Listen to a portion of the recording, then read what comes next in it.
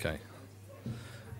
Well, uh, good morning, everyone, and welcome back to the uh, Walkley Media Conference. Uh, my name is Peter Ryan, and I'm the ABC's business editor, and I'm delighted to be here today, particularly seeing the uh, fantastic lineup of speakers that we have today and have had over the last couple of days. Before we get, uh, get things underway this morning, uh, I've been asked to note a couple of housekeeping items for everyone to observe. tea breaks and lunch will be served throughout the day in the lounge area to the left of registration. You'll also find uh, the toilets in that area as well. The venue has asked that no food or drink be brought into the auditorium and uh, please keep your phones on silent and uh, uh keep the twittering to a dull roar if that's possible. Um, so we have a great lineup of speakers and I'm sure that you'll be able to take away a lot of useful insights. Just before we started this morning we were talking about uh, feats of technology and uh, getting vision and sound back from rem remote locations. We'll be having a pretty good demonstration of that this morning. I'm told that one of our key speakers, Jay Rosen, is stranded in New Caledonia and will be coming to us uh, courtesy of the miracles of Skype. So it uh, it'll be a hats off to the Walkley's uh, IT team for getting that together. So I'd now like to uh, introduce uh, Chris Bath to moderate today's first session. You'll all know Chris, she's a veteran of the TV news scene and of course the anchor of Seven's top rating 6pm news on weeknights in Sydney. So Chris, over to you. Thanks, Peter. Thanks for having me here today. Um, before I introduce the man you're about to meet, I just want to put him in perspective for you from an Australian point of view. My boss, Peter Meakin's been in the media business for 50 years. Uh, he looks a lot younger than that, I have to say that because he's my boss, but he has been in the industry for 50 years. And his love of language and books on the subject pretty much rivals Imelda Marcos's love of shoes. And so it's fairly significant that he's pretty much the president of the fan club and chief cheerleader for the bloke that you're about to meet. Um, it's my pleasure today to introduce to you a man who's been in more motel rooms than the Gideon Bible. Now, what he was doing there wasn't at all biblical. Uh, put simply, Bob Dotson, I'm just going to have to move this mic, that's a lot better for short people. Put simply, um, Bob Dotson is a storyteller. Now, for more than three decades, he's roamed the United States telling the stories of people who are practically invisible. The people who do make a difference but don't send out press releases. Uh, his reports, American Story with Bob Dotson, are a treasured jewel of NBC's Today Show. Uh, he's one of the best in the business of broadcast journalism. He's the winner of more than 100 awards, including four Emmys. He's won the Edward R. Murrow Award for writing a record five times his documentaries have received international acclaim. Uh, El Capitan's Courageous Climbers was the winner of seven international film and video festivals and was awarded the highest prize any documentary can get. So it's a pretty impressive CV and we can probably all benefit from it. As Mervin Block said, we need more reporters with Bob's ability to tell stories. His book, Make It Memorable, is invaluable to any journalist who wants to strip away the jargon and muddled prose and write simply, clearly, and with style. The pen is not always mightier than the sword, particularly in the hands of somebody who regularly murders the English language. Or, as Oscar Wilde put it, the difference between literature and journalism is that journalism is unreadable and literature is not read. Bob Dotson can change all that. Please make him welcome.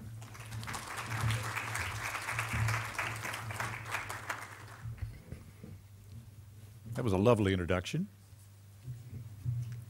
I should call, I should call my mother. Nobody likes me like that except her, and she's lying. She was a little concerned about my life's work. First time she saw what I did on television, I called her on the phone and I said, Did you see that story on the Today Show this morning? And she said, Yes. And I said, Well, what'd you think? There was a long pause. She says, I think you ought to learn a trade. They're not going to keep paying you for two minutes work a day. I said, Mom, I'm only on once a week. Oh, you're going to starve to death. When I was young and newly minted as a journalist, I went to the CBS radio station in my hometown of St. Louis, Missouri, which is right smack dab in the middle of the country. And I said, I'm ready for a job. And they sent me to the zoo. So my first job was as the show announcer for the Elephant Show with a master's degree. Alice, Pumi, Trudy, Clara, and Marie. My mother was not impressed when I moved up to chimpanzees.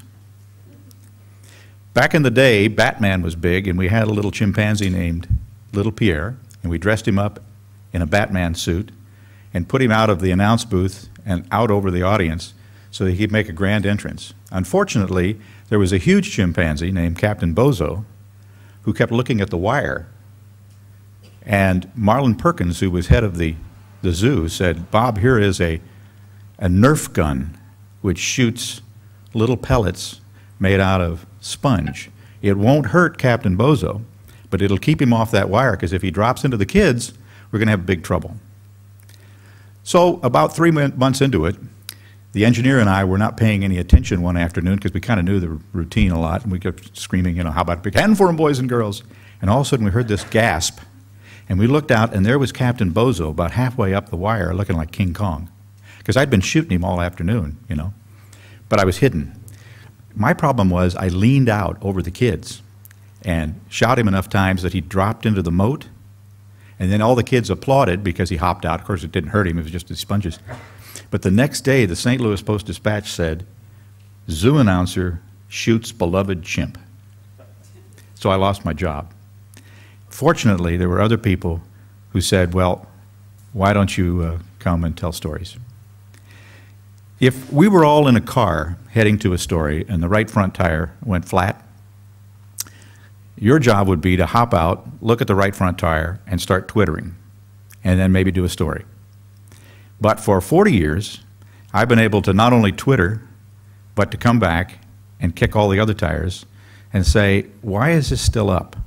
And how long do you think this will go on? And that becomes very, very important.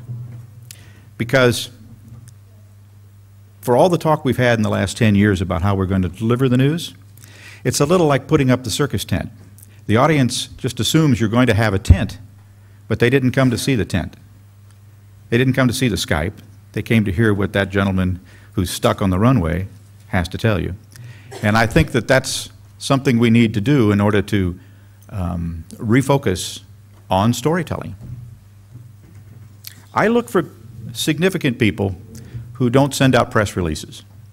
Now, these folks may not run for prime minister, and they may not go to the moon, but I believe that if they are living an ordinary life with extraordinary passion, that they hold the blueprint on how we can solve our problems in the world today.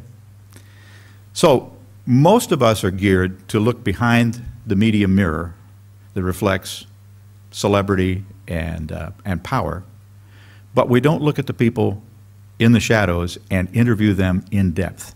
If we go out for those kinds of people, we do it like uh, you know, like it's uh, just a feature story.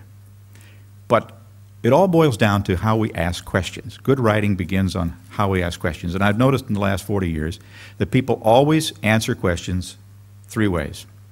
They give you the answer they think you've asked for, and then they explain their answer. And if you wait just a beat before jumping in with your next question, they think, well, I really haven't explained it well enough. And they go, well, dummy, that's why I killed my wife. You got a soundbite. It's the rule of threes, happens all the time. And if you watch a good murder mystery, the detectives say the person who speaks first in a room loses. It's the same way with journalism, with ordinary people.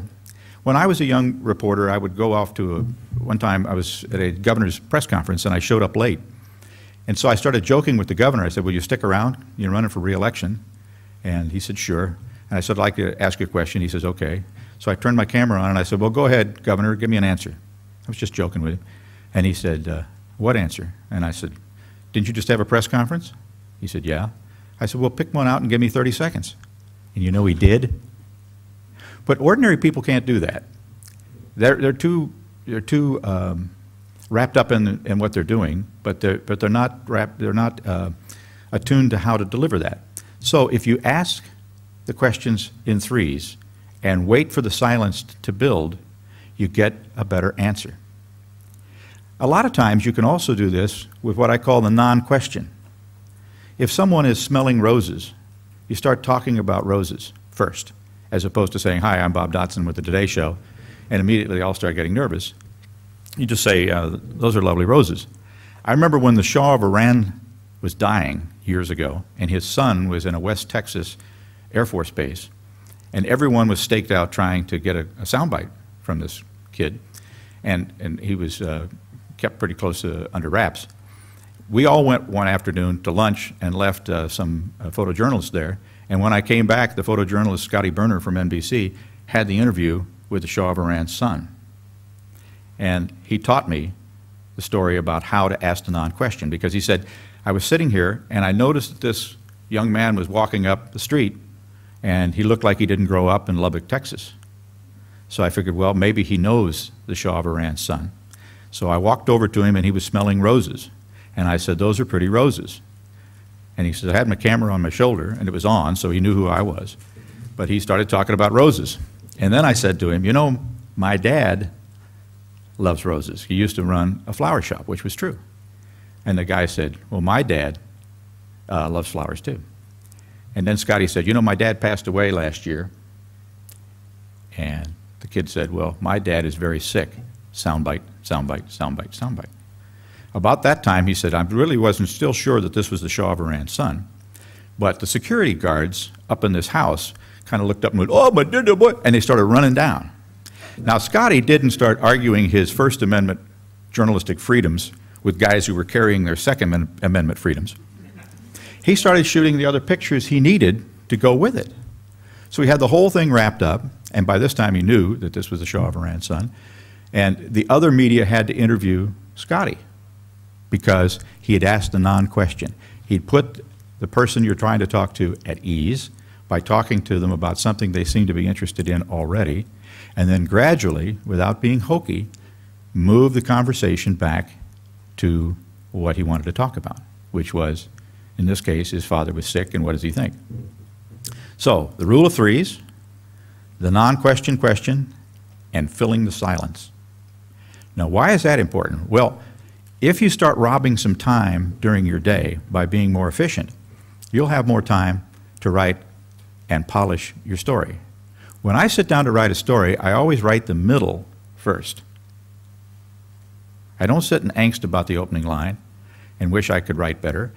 I go and I look at the three or four points that I would like to tell people, and by spading through all the information that I've gotten in my four minutes on location or whatever, I start to figure out what the story is. Now, as soon as I, I'm assigned a story, I play the game of what if. If I had to stop right now and tell this story, what's my closing line? Now, I don't care what the real words are, but what, what's my thought? What's, what's the best thing that I could, where, where am I going? Now, that'll change all day long in journalism, and you should change while, you, you know, as it happens. But the thing is, if you know where you're going, you don't have to get everything. You just have to get the elements that will lead you to your final shot. And if you're not shooting the pictures yourself, you ask two simple questions to the people who've shot it. What's your best picture? And what's the closing shot? And then you work with those elements. And it works time and again. So you write the, you write the, the middle of the story first. You have an idea where you're going, even though it may change. And then when you come to, the point where now it's time to do your opening line, and you say, boy, I wish I were a better writer. Well, what I do is if you've been asking this non-question question and the rule of threes and silence and all that, you're probably going to have a couple of sound bites that you don't have time to jam into your story. So I pick one of the sound bites I didn't use and I paraphrase it as my opening line. Why? Because it already attracted me twice. A story begins with a lump in the throat, something you feel compelled to tell. And if you haven't gotten to that point with your story, the audience doesn't care. So the best place to look is your emotional outline. The emotional outline begins with asking good questions, not just for the stuff that's going to end up in your story per se, but to get some sense of the emotion of what this story is about. Is it going to make your audience happy, sad, mad, frustrated, whatever? Has to have some emotion. The emotion becomes comes from these asking these questions. And so if you take that second soundbite and you paraphrase it, it's much more efficient and quick. Now, I know, all know, you know, a lot of us these days, we've climbed the ladder of success and we find it's been leaning against the wrong wall. We thought we were going to be writers, and now we got to take pictures. We thought we were going to take pictures, now we got to be writers. We got to be editors. We got to be, you know, we're going to have all kinds of new things we didn't know about. I have a friend who is a uh, network photographer who was shooting a story with me the other day, and I came to pick up what he had shot overnight at a, at a big concert. It was kind of a, you know, return to the 60s kind of hippie concert. And uh, he and I had had these long discussions about, you know, he doesn't want to have to learn how to write, and you know, why don't you learn how to take pictures? And he didn't know I have a master's in cinematography. I just don't do it all the time. But I, so I said, okay, what have you got? My usual question. What's, what's your best closing shot? What's your best opening shot? And he said, well, not much. Breakfast was either smoked or passed around in a bottle. I said, pardon me? He said, yeah, breakfast was either smoked or passed around in a bottle. People were taking hits off of marijuana and they were drinking all night. And I said, uh, you probably have pictures of that, don't you? And he said, yeah, actually there was one with the sun coming up and this guy is drinking out of it. You know, I said, I said, Daryl, you, you, you're a terrific writer. And he said, what? I said, that's a great opening line. Breakfast is either smoked or passed around in a bottle. It's catchy, it supports the pictures you have, and it pretty much sums up what the story is. And it's intriguing. He said, hmm, I'll never be a writer. He says, but I might be a storyteller. And I said, well, that's about as far as you're going to get. Be a storyteller. Don't worry about whether last week you were an editor and this week you're a producer. Just be a storyteller, and you'll come back to content. Now, another way to really uh, be efficient in your writing is to remember a little short mantra that somebody passed on to me years ago.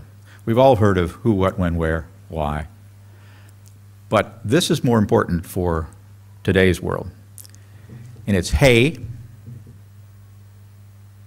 get their attention. Hey, get their attention. Right now, get their attention. A murder mystery always has a dead body on page one, or it's not a very good murder mystery. The second part of it is you.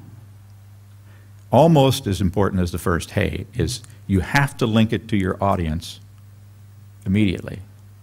It might be a train wreck in Kalgoorlie, but this is why you care in Sydney. You. And that's very often left out. C is the two or three things that you found out about the story that maybe the person standing next to you doesn't know. And it may just be interpretation because almost all information is out there instantly. So that's where the good storytelling comes.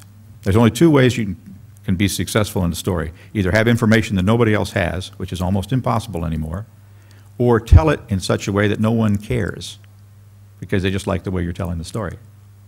So that's the C part. Hey, you, see, and the last is so. So why should they care? If a group of kids off the coast of South Carolina has won a poetry contest and you're sent out to do one of those little grade B features, you got to ask yourself on the so, so why did this happen? Well, maybe it's because the mind is their closest friend. There's only four or five of them on the island. So once you find a theme, you can build to the theme. And if the theme is incorrect, you'll learn that early on in the way you're stacking your story. But every story has to have that hey, you, see, so. Even if it's a complicated and, not very visual story. Hey, you, see, so. I was assigned years ago a market basket story on the price of meat for nightly news. 45 seconds, no more, no less. And everybody said, well, we've got some guy in a pinstripe suit that can talk to you, and we got some graphics and this, that, and the other. And an assignment editor in Fort Worth said, you know, you network tools are dumb. He says, nobody cares about that kind of stuff. He says, you go out there to the butcher shop and you ask the butcher to show you how much meat you could buy for $5 five years ago. And then take yourself a great big old cleaver and say, this is how much you could buy for $5 today. Whack! So that's what I did. I got more letters on that story than anything I had done up to that point at NBC. Very simple. No graphics, but imagination. And it's straightforward. And it's something people can relate to. We all have gone out and bought meat. And it's, just, it's not a percentage of the index. It's $5 five years ago, $5 today, and this is what you've got.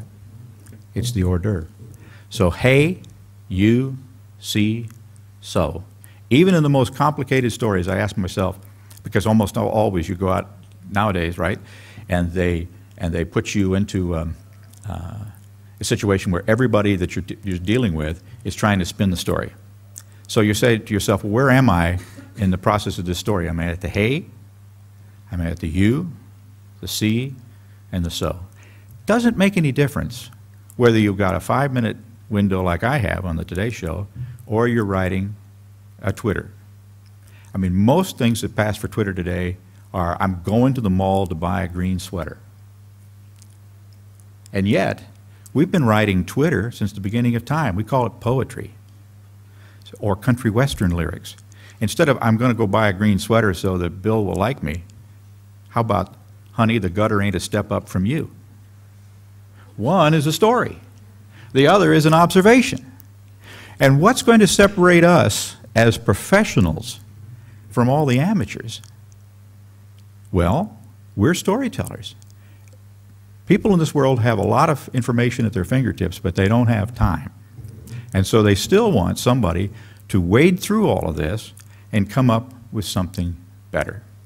So a lot of it comes when you're using these tools and you go out and you bump into ordinary citizens, how do you get beyond the ordinary story?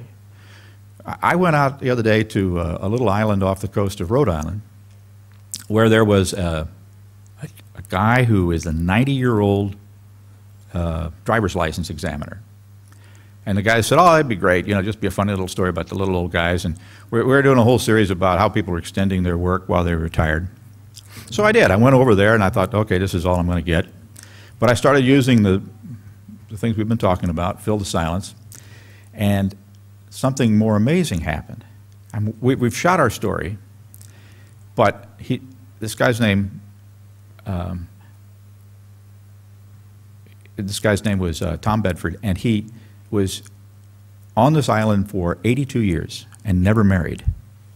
And I thought, hmm. And he was the only African American on this island for most of those 82 years. So I said, Well, Tom, how, how did you get there? And he said, Well, when I was eight years old, I was an orphan, and uh, a farmer by the name of Gerd Milliken brought me over as an indentured servant. And I said, Well, why'd you stay? because I noticed you still live with the Milliken family in an unheated bedroom, they tell me, even though they've asked for years to get you down. And he said, Well, when I was a young boy, all the farmers used to have uh, parties on Saturday night and brag on their kids. And Gerd Milliken had eight boys and me. And he said, One night, Mr. Milliken got up and he pointed his finger down the end of the other end of, other end of the table and you said, he said, uh, You watch how Tom turns out. I think you'll be the best kid on the island. So I sat there and didn't jump in for a while. And he said, You know, I have been police chief, I've been the fire chief, I've been the head of the rescue squad. I, uh, I was head of the Chamber of Commerce five times. And he said, uh, I won the Rhode Island State Lottery 10 years ago and got $5 million. I said, Really? He said, Yeah, yeah. And uh, I threw a party on my birthday and announced that any kid that wanted to go to college, I'd pay for it. And he said, uh, I went to college at age 54. I didn't say anything. I just sat there. And of course, the camera crew, when they started this, were tearing things down, and they're listening. So now they're putting things back up. You know, not a thousand lights, just one. And uh, so th this narrative continues to unfold. And I'm looking brilliant because I've said nothing. I just listening to him. And he says, yeah. Um, he said, I, you know, I, uh, I went back to school at age 54 because I realized that the island was changing from farming to tourism. And we're going to need some hotels. So I became the shop teacher. And the four principal builders on this island today all learned in Tom's class. Okay? So now the sun's setting, the ferry's leaving. we're not on it. But we're letting him sit there and look. And he's looking out at the lighthouse and the pelicans. And he's lost. I mean, he's like gone back 80 years in time. And uh, again, I said nothing. And he turned to me and towards the camera and he said, I hope he knows how I turned out. I went to do a, stony, a funny ha-ha story about a 90-year-old guy who is uh, giving driver's license to 16-year-olds. And this is the story we got. So we immediately thought, well, what's the closing shot? We haven't got it for this story. And I said, Tom, you getting a little tired? He said, yeah. He says, I generally go to bed around uh, 8 o'clock. And I said, do you mind if our camera is at the top as you climb the stairs up to your unheated bedroom? I didn't tell him that. And that's the closing shot. But because he was looking at the, uh, Block Island is well known for this beautiful old uh, lighthouse. And the more I got to thinking about it, the way I started to structure the story was, uh, you know, you're lucky if you got one lighthouse. And this island's had two for almost a century. So that was my theme. And I started off predictably, you know, here's this funny guy with a 16-year-old trying to get into the car and double park, you know. And then started to move the layer. I mean, all good stories, whether they're a 10-second Twitter or an hour documentary or a book, is a lot like an onion. Not because it makes you cry, but it has a lot of layers to it. And it, they all should have layers because the audience is interested in different things. Some people probably stuck with you for two minutes because they just like the pretty pictures of Block Island. And some people got hooked up on the story but they were all there. And the best emails I get are, well, you made me late for my bus again today. I don't care what happens in the next five minutes on the Today Show, but in mine, I want to put them on my knee and tell them the story. But using some of those techniques, you see, you can rob enough time in your day to actually polish without having to sit there and angst over the first line and what's my closing line and all that. Basically, you're looking for uh, some time to be able to put a little polish to it so it stands out from the person standing next to you. So,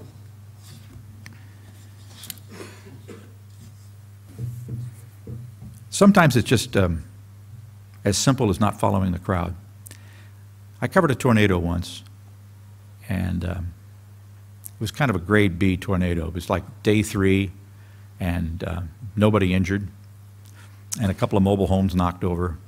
And in, in the middle part of the country, that was pretty, you know, ho-hum. Except that the cameraman I was using was a terrific storyteller. So he found a guy who was looking for something. Now, what, did, what do people look at, you know, after a tragedy on day three? They're looking for pictures because they already know their house is okay or not okay, and they've already taken care of the people that might have been hurt or not hurt. So this guy, we figured, was looking for, uh, for pictures. The rest of the journalists were all chasing the governor who had flown over and was going to provide some kind of uh, financial help. That was pretty obvious. So I figured I could cover that in copy. You know, they may or may not get financial help, the governor says. But instead, we used the man with the bib overalls as our thread because of one thing he did. He got comfortable enough with our camera as we followed him around that when he found what he was looking for, we got our last shot. He reached down into this pile of rubble and he pulled up this hunk of pink goo and he looked right at the camera and he says, Well, it got my teeth, but it didn't get me. so the rest of the story, it was like a minute 10, you know, it had, it had the stuff, the name of the town and the, you know, but, but we had a little foreshadowing in there because stories really haven't changed since the first cave guy went down into the valley, killed a mastodon, and came back and started painting on the wall and saying, hey, this is what happened today. Nothing really changes. So, but what, what you try to do is to define the elements that get to the final shot. And in this case, we knew you're not going to be able to top, well, it got my teeth, but it didn't get me. You know.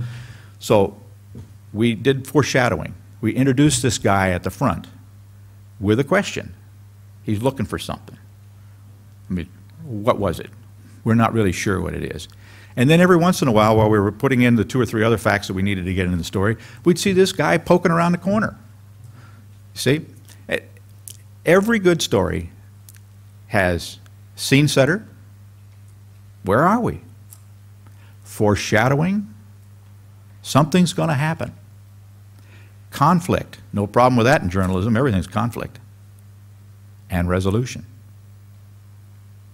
Four girls in Kansas gave me a story that 50 years of journalists uh, had tried to pry out and could not. They were putting on a little history um, play in, in, their club, and they wanted to uh, find out if there'd any, been anybody like Otto Schindler, who saved all the Jews and became Schindler's List. And Thomas Keneally, the great Australian writer, wrote the story about Schindler's Ark. Well, there was a lady named Sendler, and she lived in Warsaw, Poland. And these girls wrote her a note because they found out that this woman had saved 2,500 Jewish kids from the Warsaw Ghetto. And she was five foot one inches tall. Well, all the journalists have been trying for years to get Mrs. Sendler to talk to them, and she wouldn't. But to the four girls in Kansas, this little tiny town of Kansas, she wrote 30 long letters. And this is what she did. The Nazis came to town, and they walled off about 500,000 people in an area the size of Hyde Park here in Sydney. And they didn't have enough to eat, and so they started dying at the rate of 5,000 a month. Mrs. Sendler was a uh, public service nurse. She goes to the Nazis and says, look, you know, you're not going to be able to keep the, the typhoid on that side of the wall, so you need me to go in there and try to settle that down so you guys don't get sick. And they bought it. She goes in, she starts talking to the young couples and saying, it doesn't look good. I'll tell you what, I'll find Catholic couples who really want to have children but can't. And if you give me your, your babies, I will give them to those couples who will be strong enough to keep them safe from the Nazis. And then in the meantime, I will write down their actual parents' names, put them in a glass jar, and bury them in my backyard across from the Gestapo headquarters which she did for four years. She got 2,500 kids out by carrying them in gunny sacks as she left. She'd sedate, sedate them a little bit. And the tiniest of, she'd put them in bags, and she trained her dog to bark if the baby started crying. She made it for almost four years, and then she was betrayed by a Jewish mother who needed food. The Gestapo picked her up, they broke her arms, broke her legs, tried to find out where the jar was. She didn't tell them. But the underground bribed the Germans on the way out to sh shoot Mrs. Sendler, and instead, the driver threw her out of the car and she saved another 500 kids. Never told the tale to anybody except for these four girls who ended up telling me. They eventually went over to Poland, and Mrs. Sendler was 97, and she was in an old folks' home, and her nurse was one of the babies she'd carried out in a sack and there were over 4,000 people who had, from that group of people, uh, descendants because of what Mrs. Sendler had done. And so she had a question for the girls. We did this with home movies, by the way. We didn't go to Poland. We didn't have the budget. We put it together with home movies and, you know, their little play. These girls were now in their late 20s, married, and they were still doing this play all over the country and sometimes all over the world. But Mrs. Sendler asked, why would you care? You live in Union, Kansas, population 200. You don't have a Jewish family for about 300 miles. The closest is Kansas City. Why would you care? And Jessica Ripper, one of the young women, said, uh, well, we, we don't care about race and religion in your story. What we care about is that good can overcome evil. So I thought about that as I was finishing writing the story. And I said, well, there's one other thing that seems to me that this is the so, so why should you care? Here was a group of women who were intent on rescuing the rescuer's story. Had it not been for these four girls, that would have died with Mrs. Sendler, who died the following year. Because of what these four girls did, Mrs. Sendler was nominated for a Nobel Prize, and she lost to Al Gore. So you, it, that's why it's important to go talk to ordinary people as if they were the governor. I'm not into doing good news. I don't really care about feature stories. What I care about is finding people who do significant things in their life and find solutions and blueprints for the rest of us and putting that on television. And as a practical matter, I think the only way we're going to survive in the next few years is on content. Because there's a ton of stuff out there. But if you have a story to tell consistently, which illuminates ordinary people, I mean, look at, look at the success of reality, so called reality television. People love to see themselves, even if they can't dance, even if they can't sing. They want to be on TV, they want, to, they want their lives to be important. So why not find people who are truly important and tell their story? Now, the only thing that, um, the only piece of advice that I have to leave you with is this. Because I've been in more hotel rooms than the Bible, a few of them have left chocolates on the pillows. And one of them had a really good saying which I kept in my wallet till it fell, fell apart, and now I have it know it by heart. And I think it's, it's pretty much a mantra for journalists. And it said, success is not a question of being dealt a good hand. It's playing a bad hand well over and over and over again. Thank you all very much. If you have a question, I'll be glad to answer.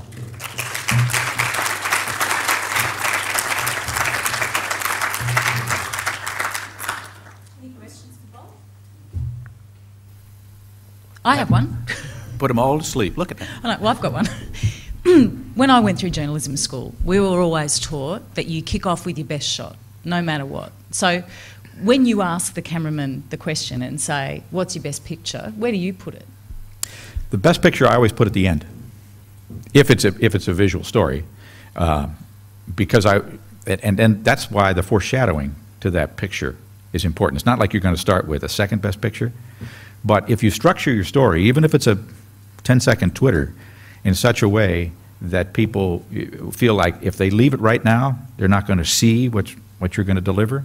Because otherwise, I mean, we've all seen stories which, eh, you know, it telegraphs what the story's about.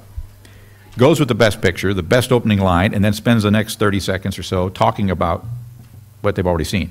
Well, in this day and age, people have clicked away. But instead, if you say, the person held the knife up, and who's he going to stab? And then they're going to stick with you because they want to see who they're going to stab.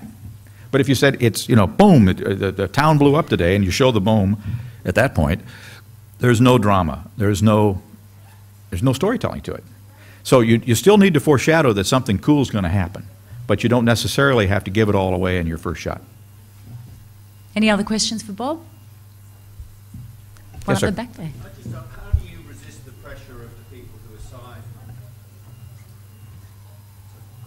And I did used to work in TV uh, features on the Today Show in Australia, in fact.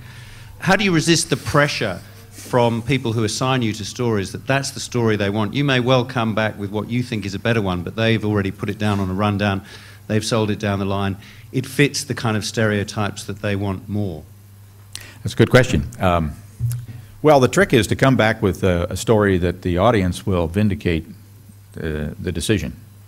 And, and I always feel like if you're going to pitch a story that's more thoughtful or different or something that you think is, should be done, if you can't explain it to your boss in one sentence, you haven't thought it through yet.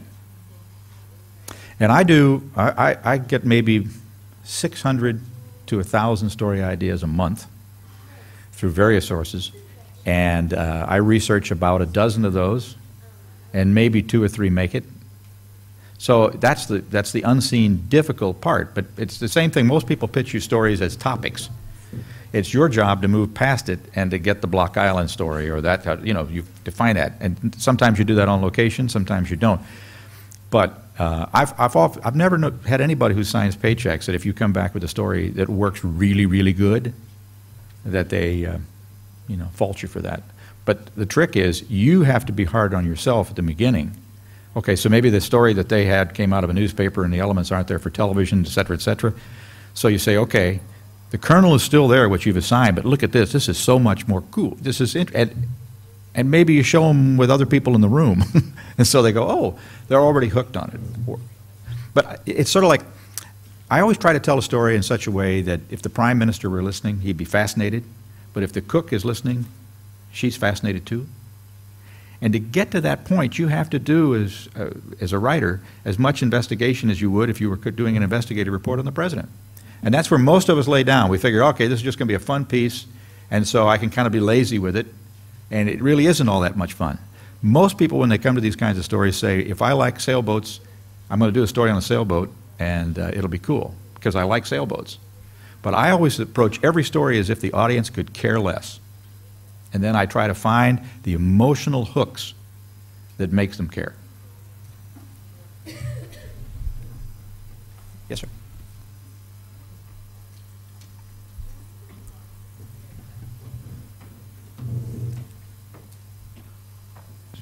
Uh, Roger Wescombe, uh, the charm of the stories that you've told us this morning uh, depends to a considerable extent, I, I think, on the fact that during the telling of the story, you make us, as it were, fall in love with the subject. Uh, you show some essential nobility in them. Uh, how do you deal with really nasty people? Or, in fact, have you found that there are none? Oh, no. but it's the same side, it's, a, it's the flip side of the same coin. Uh, nasty is actually easier because um, it, it's still an emotion. In the case of people that I've been telling you about, I mean, they're, they're interesting and they're ordinary people who you'd kind of like maybe emulate if you could. But in the case of someone who you hate, that's, that's simple too, because all you have to do is find the emotion and build the foreshadowing to that emotion. It's okay if somebody goes away feeling uh, terrible about this person or angry or frustrated. But it, the thing is, is that a lot of people say, well, you know, if, you, if I had talent, I could do this. Well, my message to you is talent's wonderful, but it's a craft and you can learn it. It really is. Hey, you, see, so, where am I? Where's my foreshadowing? You know, how do I hook these people? And if it's somebody who's terrible, you've got to give them some reason so that when they are terrible, I mean, you, you watch a really good movie and you see the villain, and there's something about the way the uh, director or the actor interprets the villain that he gives them a human side. So he's so much more interesting than just a stick figure villain. Well, it's the same way in journalism. And most of the time, we're dealing with people who've done something that's despicable. But you can still do the foreshadowing and say, you know, you think this is bad? Well, watch this. And so when, when this person comes on the scene, you know, immediately you've got their attention and, the, and you hang with it. Another question down the front here. Sure. Hi, hi. I just wondered whether you'd noticed any dramatic changes in your audience over the years. I mean, you say the storytelling hasn't changed, but have your audience? I've noticed over the years that the trees are taller and the audience is younger. I, I no, I, you know, that's it's interesting because the demographics of the people who um, who watch my stories, 18 to 80. But I I think it's because we are all wired for storytelling. You, you look at a lot of stuff on the internet today and you say, well, you don't see a reporter. Why would you need a reporter? Well, I contend that you need a reporter for the same reason you liked your mother telling you a story. You know, you trusted your mother, you loved the story, and you bonded with that person. And as professional journalists who expect to get a paycheck on Friday, wouldn't it be great to bond with your audience so that they don't care necessarily, you know, what the story is about? They just like the way you tell it. And so their ears perk up when you when you come on. And and that's what I've tried to do. And I said in essence it's it's because I start mentally with every story I do is absolutely uninteresting, even if it is interesting. And so I set the task to myself, where are my building blocks? It's really like architecture, you know, opening shot, the sound bite, the natural sound of, of, a, of a river going through. So I don't have to say that a river was high because I'm going to leave myself three seconds because you can see the river. When I was doing breaking news, I once went out to a, did a flood. It ran 55 seconds, and a mother saw her baby in the flood. And the cameraman just followed a tear down this mother's face because when he went over looking for the baby, it was so far out in the flood you couldn't really see it. So he came back to the tear. I did the first 28 seconds of the 55 seconds following the tear. And that was my foreshadowing. You know, I had an establishing shot that there was this flood going on, like everybody's been reporting all around the world, but where is this tear going? And what does this woman have to do with it? And then at that point, they finally rescued the baby. The baby comes in. It's a 55 second story, but it has a beginning, middle, and ending. It has drama, it has tension. It doesn't have an interview with the governor saying, you know, my gosh, it's the worst flood we've had in a thousand years. Everybody else is going to have that. So, as professional storytellers, I look for the kinds of things that will hook the audience all along, no matter what I, whatever I do. And today, it's a whole lot simpler because if I do a story uh, for the Today Show, but I've done a gr- great deal of research, I put it in my web column. So I'm like a farmer. I know I don't throw anything away. And it's terrific because we have about 9 million people who watch the Today Show in the morning in the United States. I had four stories last year that had between 48 million and 78, 2 million page views, which means that they had to watch a commercial to watch my spot. So when you go back to the people who sign paychecks and you say, I know you would like me to do 108 stories today, most of which would probably be forgettable. But if I could do one or two that people still talk about three years from now because it's on the electronic shelf, that's worth it too. So I think I'm, I'm more hopeful than I ever have of the, the younger generation coming along that there will be uh, an economic model for those people inclined to want to be storytellers. Not all of us want to be, but if you want to do a story like that, I think that you can make, make the case in the years coming down the line that there's, it's worth it financially for the company that hires you. I think, uh, Bob, we have to wind it up there. That's all we have time for today. Ladies and gentlemen, please thank Bob Dotson. Thank you.